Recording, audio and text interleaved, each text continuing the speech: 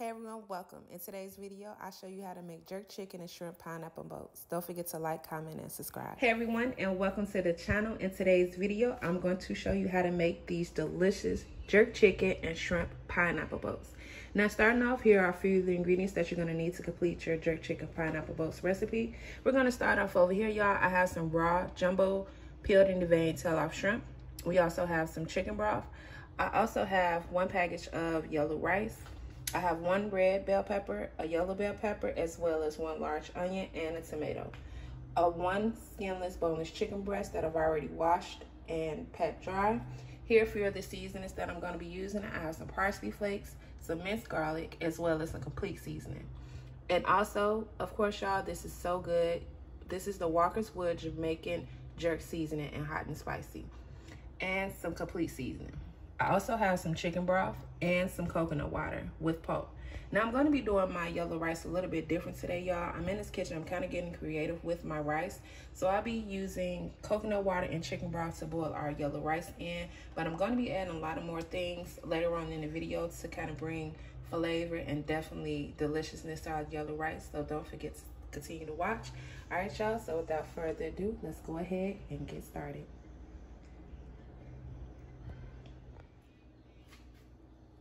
All right, y'all, so in the medium saucepan, I am taking my chicken broth and I'm pouring that kind of like midway and also adding one full can of the coconut water and pulp. I'm also going to set my temperature at medium low to kind of start the boiling process for this.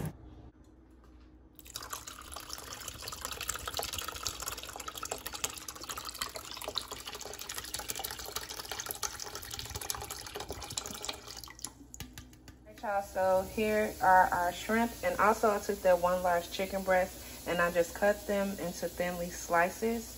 So the only seasons that i'll be using for my shrimp and also for my chicken breast is the Walkerswood jerk seasoning parsley flakes and also some minced garlic. That's it. So let's go ahead and season these up. Right now i have my coconut water and my chicken broth boiling for my rice. But let's go ahead and start to prepare and cook our chicken and our shrimp Alright y'all, I let the jerk chicken cook on each side for maybe about five or six minutes. Flip them over. Since these are really thin, y'all, it didn't take that long at all to cook. So maybe the whole cook process for this one large chicken breast was maybe like six minutes. Alright y'all, so I cut up all my bell peppers and also my one large onion. I'm also going to be adding a little bit oil to the pan and I'm also going to be cooking these together for maybe like five minutes um, to still have that crunch but not cooking them too well done. And in this pan, our shrimp are almost done. I'm about ready to take them off. It's just a few down here that I still need to flip. All right, y'all. So in the medium saucepan, I did went ahead on and added a little bit of oil at the bottom, and I have my heat at medium.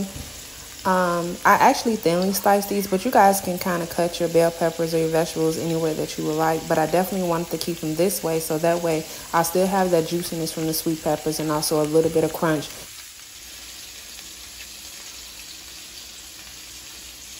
So I have my heat at medium, medium high, and I added a little bit of olive oil at the bottom of our pan for our vegetables. I'm actually going to go ahead and cook these for maybe like three more minutes. But y'all, the aroma here smells so, so good. Right here in this cup, y'all, I have one third cup of diced tomatoes. You guys can use canned if you want to. Um, I have one third cup of fresh tomato and also a half a cup of sweet peas. So this is the rice we'll be using. And I'm going to go ahead and pour that in to our chicken bowl.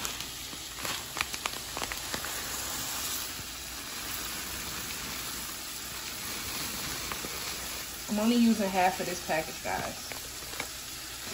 I'm not using the whole package. This is a 16 ounce package. I'm using half of that, so maybe about 8 ounces of this rice. Next, I'm going to go in with some complete seasoning, parsley flakes, some seasonal. And once our rice get up to maybe like once tender, then I will add in our tomatoes and our peas.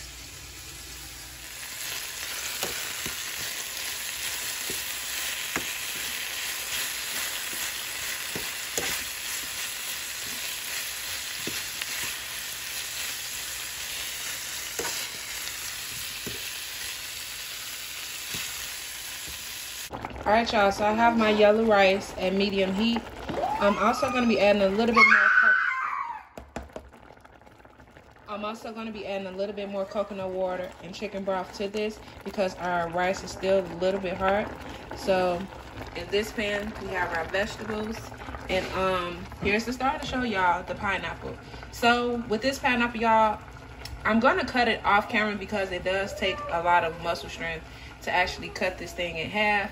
But once I cut it in half, I kind of go and give you guys directions on how I hollowed it out and how to scoop all that stuff out. You know, basically like simple directions on how you can cut this uh, pineapple in half so you can put all your uh, stuffings in.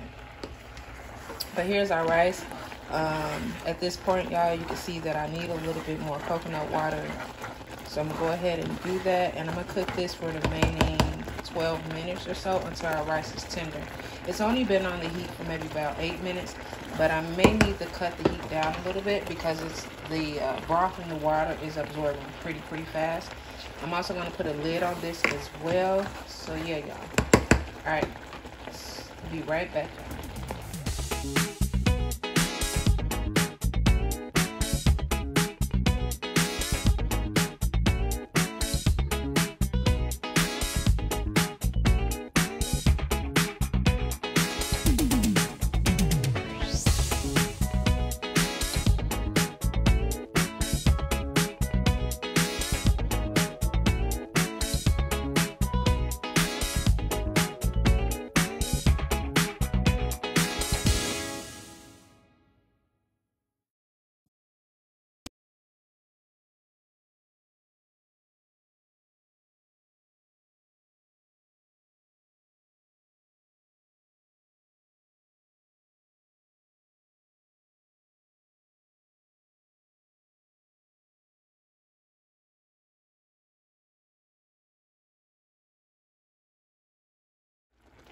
All right, so here's one third cup of diced tomatoes and a half a cup of sweet peas. I'm going to add that in. Our rice is kind of tender, um, maybe like two more minutes once our tomatoes and our sweet peas cook.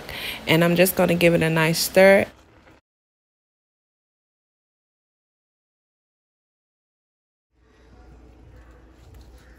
Alright y'all, so I managed to cut the pineapple in half.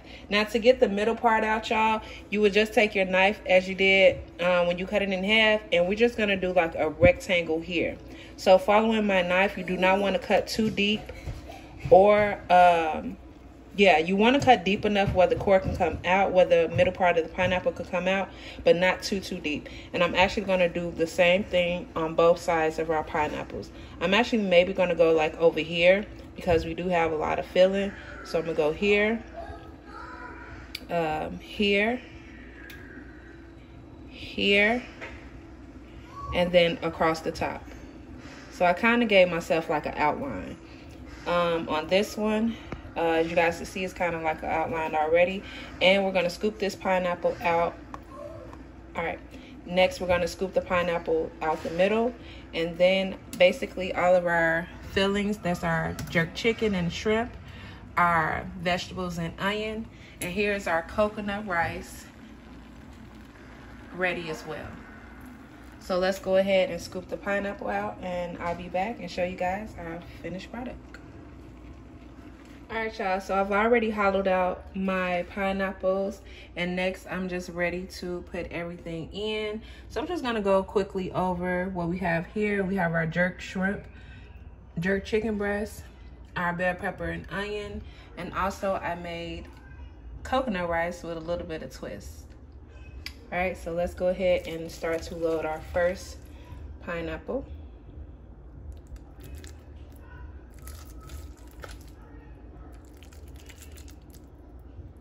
It smells so good, y'all. I absolutely enjoy uh, cooking this video.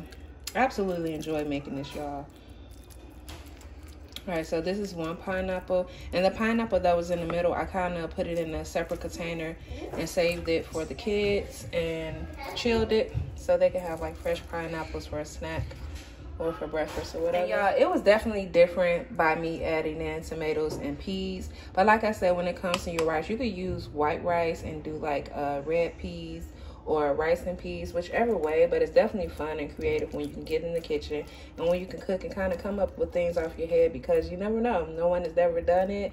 You've never heard of it. So, but then when I tasted this coconut rice and the liquid bases that I used to cook it, it was definitely different, but it was so good. It's so good, y'all. It is so good. All right. I think that's enough rice for right now. Um, yeah, it's enough rice for right now. And I'll just add a little bit more to this one. Y'all know I'm about big portions, so ain't gonna get no little skimpy stuff over here, y'all. All right. All right, now let's add in our bell peppers and onion. I'm actually gonna move this pan here. This one a little bit closer. Look at those glistening. Yes, y'all. All right, let's add a few of these.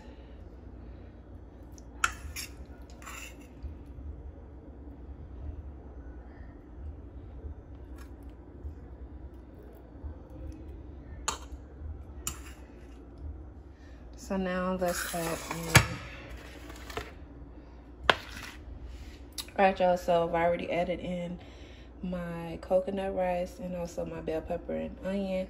Next, I'm just going to go ahead and I'm going to do one jerk chicken and then I'm going to do the other one jerk shrimp.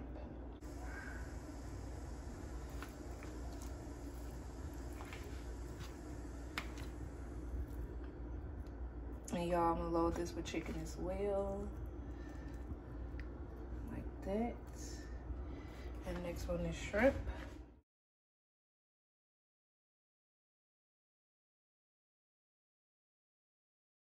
So here it is, y'all. My jerk chicken and shrimp pineapple boats. Y'all, this was the easy step-by-step -step recipe. It was full of flavor. And I'm kind of surprised how my coconut rice came out. I did that, but it was real good, y'all. Thank you guys so, so, so much for watching. If you guys enjoy recipes and grocery hauls like this one and videos and cook with me videos like this one, don't forget to like, comment, and subscribe. I'll see y'all in my next video. All right, y'all. Bye.